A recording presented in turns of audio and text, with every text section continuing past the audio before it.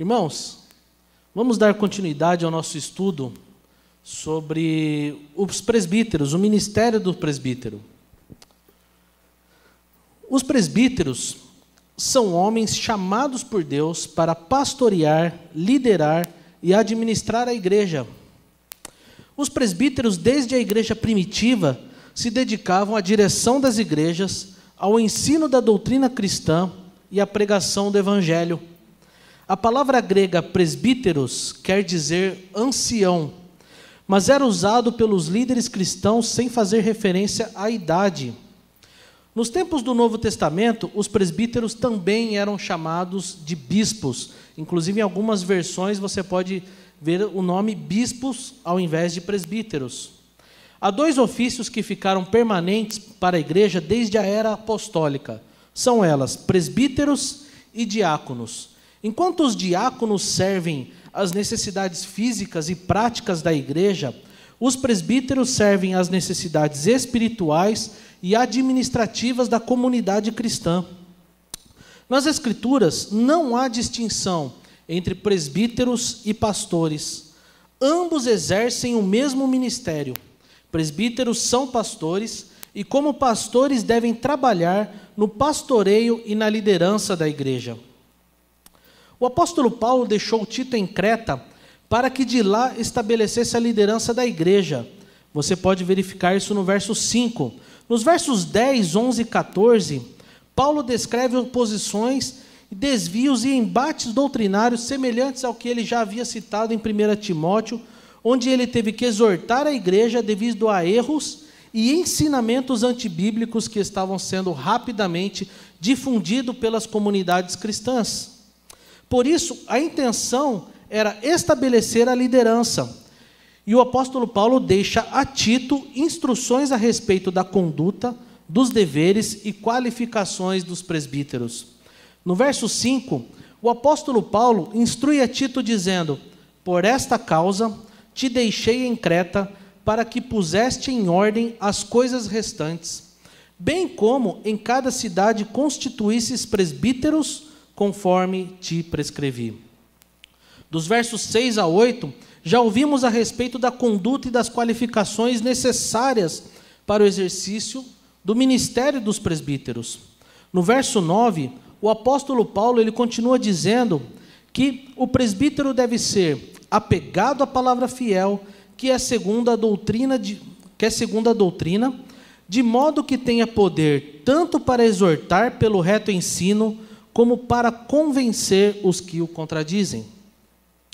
Presbíteros devem ser homens fiéis às Escrituras sagradas, experimentados e aptos para refutar falsas doutrinas, falsas teologias, ideias e práticas que caminham contra os princípios da palavra de Deus. Resumindo, devem ser homens capazes de defender a sua fé e a centralidade da fé cristã Presbíteros são homens chamados por Deus, reconhecidos pela Igreja de Cristo, para instruir e ensinar o povo a caminhar dentro do padrão divino e não cair nos laços de falsos ensinos e doutrinas. Presbíteros devem estar aptos a refutar eficazmente as doutrinas de falsos mestres, confrontar o erro para que os crentes sejam sadios em sua fé e experimentem da liberdade cristã que pode ser alcançada apenas por meio de Cristo. Um presbítero deve estar disposto a dar instruções bíblicas a seu povo e repreender os que contradizem. Ele precisa identificar doutrinas enganosas e exortar o seu povo a evitá-las. Presbíteros devem ser homens aptos a ensinar e ajudar o povo e ajudar o seu povo a manter a consciência cativa à palavra de Deus. Devem ser homens de oração, que buscam no Senhor a santificar-se na verdade tanto a si próprio como o seu povo. O apóstolo Paulo ele diz também em 1, Tito, 1 Timóteo 3,2 que diz: É necessário, portanto, que o presbítero seja apto para ensinar. Dentre as qualificações dos presbíteros, esta é uma tarefa primária. Cada atributo listado por Paulo é resultado de um cristão maduro. Porém, a aptidão para o ensino é um dom que se requer de homens que aspiram o ministério do presbítero. Agora, o que é estar apto para ensinar? É ter a habilidade de comunicar e aplicar as escrituras sagradas com clareza, coerência e que frutificam através destes ensinos. Estes homens devem manusear a palavra de Deus com habilidade e fidelidade. Isso não significa, irmãos, que você vai ver todos os presbíteros pregando em cultos públicos. Há presbíteros que possuem esse dom, mas há presbíteros que não possuem este dom. Mesmo assim, são homens capazes de ensinar crentes a caminharem com Deus e conhecer Sua palavra. São homens que aconselham, instruem biblicamente, discipulam outros e auxiliam os crentes a caminharem com Cristo. No Novo Testamento, a igreja instrui a designar múltiplos presbíteros para pastorear as ovelhas. A pluralidade do ministério de presbíteros oferece muitos benefícios à igreja. Resulta em um grupo de homens dotados para compartilhar entre si o peso da carga pastoral, para o ensino em diferentes áreas da igreja, para serem responsáveis uns pelos outros, para a manutenção de uma liderança estável, para animar uns aos outros em períodos difíceis e para o pastoreio uns dos outros.